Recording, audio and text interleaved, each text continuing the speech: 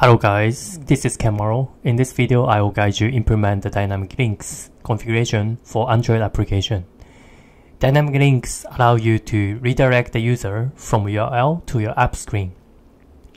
I will be using Jetpack Compose for application. If you don't know how to implement the dynamic links for iOS app, I will recommend you check out another video, link in the description below. As of now, Google seems decided to dupe uh, duplicate dynamic links in the Firebase.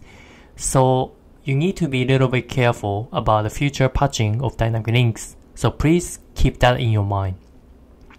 Before we start, let me summarize what, you, what to do to achieve dynamic links for Android apps. 1. Create Android app project. 2. Create Firebase project and add your Android app. 3. Add signature SHA-1, SHA-256 other Firebase project from Android project. 4. Enable dynamic links and create new link at Firebase. 5. Configure Android manifest.xml to allow dyna dynamic link domain. 6. Write logic at main activity.kt. I will go through them step by step in this video I assume if everything goes smooth, you can implement this great feature within 30 minutes. After you understand how configuration can be done, I encourage you to adapt this into your own project. So let's get started. So number one, create Android app project. First, start with an easy step. Open Android Studio and choose empty compose activity to start with. I don't recommend you to start from no activity unless you really unless you really know what you're doing.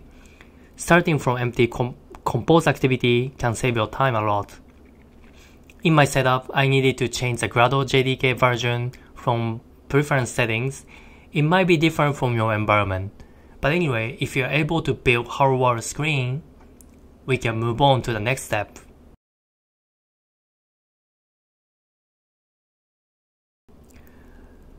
Now, here is application level Gradle dependencies for dynamic link related dependencies and navigation related dependencies.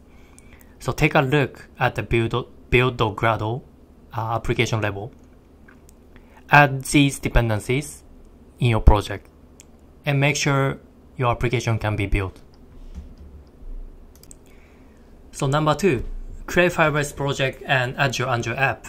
This step is rather easy if you ever created a Firebase project before. Just add a new project and follow what it says. It takes a few minutes for Firebase to get your project ready.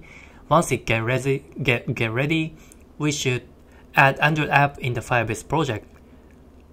Here you download the uh, Google services.json, the file and copy into your Android application project root. Once you finish it, you can follow the Firebase instruction, put Firebase dependencies in project level and application level Gradle, Gradle file. After that, of course, uh, don't forget sync it in Android Studio and build it.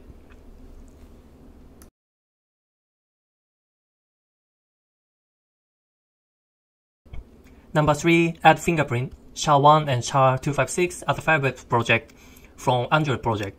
So this part is telling Firebase your Android app identification to connect with. Since Android app creates fingerprint for your application, which is SHA-1 and SHA-256 hash values, they are needed to be set in a Firebase project side. In order to get this fingerprint for the development phase, follow what I'm doing here. Hit the Gradle page on the rightmost side of the Android Studio workspace and go Tasks, Android, signingReport. Then in the console, you will see your hash values. So make sure copy them and paste it, paste it in the Firebase project. By the way, this is for the development purpose. All of your project will share the same hash value for development build. For production build, when we register our app in the Google Play, they assign specific hash value for you, for you, your application. For this configuration, I will upload another video. But since now prototyping is done in development mode, so I will just use uh, shared hash values. Number 4. Enable dynamic links and create a new link at Firebase. In the Firebase console, go to engagement section from sidebar, then hit the dynamic links. Then you can enable dynamic link. Next, you need to define the domain for the dynamic links. It is possible for you to use your custom domain, but here I will use Firebase providing domain, which ends with .page or link. This domain must be unique, so set your custom string as you like. Now hit the new dynamic links to create a one for your app. In this tutorial, I will create the endpoint with slash test as a URL suffix. Next, set the deep link URL. So if the user accessing this deep link from PC, it directs you direct the user this deep link URL. Right, uh, right here, I'm using the example domain example.com as I uh, as here. Next, add your Android app with clicking Open Deep Link in Android app and select your registered Android app. You can here skip the iOS app configuration and hit create. You are ready to go to the next step. Number 5. Configure Android manifest.xml to allow dynamic link domain. So please go back to the Android Studio and configure Android manifest.xml. Basically, it necessary to it is necessary to add two things. One is tools, validation, test URL, and another intent filter section. So as you can see in the activity, in the activity section, first you need to add the tools. And here, just write the domain that you register right now. And you also need to add the intent filter to, to allow your domain here.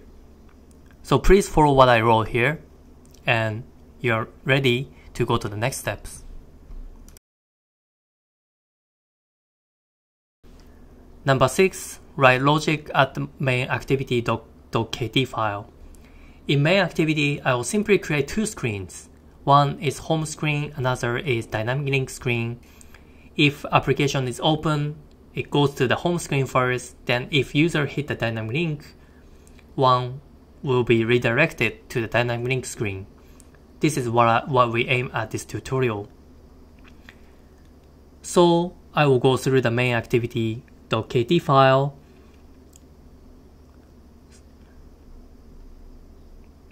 This is a little bit long but should be easy to follow. We use navhost for screen navigation.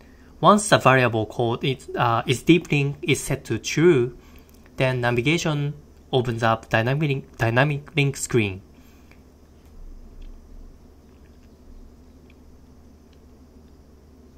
Here I'm having the intent called applink intent and passing this applink action.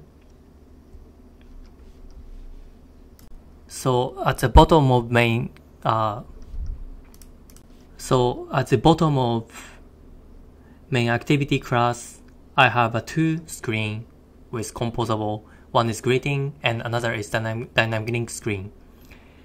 And inside of the onCreate function, I created, instantiated the app, applink intent as an intent, and also applink action as a string. Also here, I set the get dynamic links function, which takes the intent. Once get the intent, Firebase dynamic link dot get instance is called, and there is a callback if the callback is successful and dynamic, dynamic link data is not null, then I set the isDeep link flag as true and just make a toast. Once this isDeep link uh, boolean gets true, then uh, this uh, launch effect will be called and nav controller will direct you to dynamic link screen. So this is it.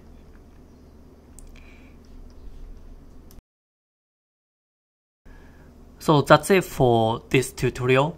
If you found this tutorial helpful, please don't forget to subscribe my channel and like this video. I will see you in the next tutorial. Happy prototyping. Bye bye.